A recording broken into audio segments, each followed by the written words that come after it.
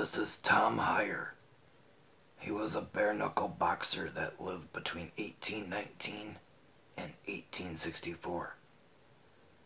He only had three professional bouts, but won two of them.